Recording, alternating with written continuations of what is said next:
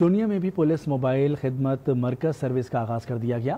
مزید جانتے ہیں عامر حسین نقوی سے۔ جی عامر، کیا بتائیں گے؟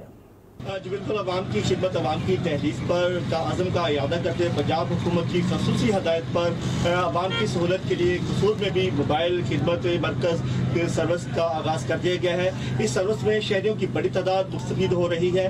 اس اس موبائل سروس میں کیا کیا سہولتیں دیں گی عوام کے لیے میرے ساتھ اس وقت موبائل سروس کے انچارج موجود ہے یہ جانتے ہیں۔ جی اس میں کریکٹر سرٹیفکیٹ ہے، لرننگ لائسنس ہے، لائسنس رینیول ہے، کرایہ داروں کا اندراج ہے، اس کے علاوہ امپلائی ویریفیکیشن ہے اور ایف آئی آر کی کاپی بھی آپ کو ادھر سے اویلیبل ہوگی۔ اس کے علاوہ جو ہے، جو عورتوں پہ جو گھریلو تشدد ہوتا ہے، اس کے حوالے سے ہم انہیں جو ہے لیگلی طور پہ گائیڈ کریں گے۔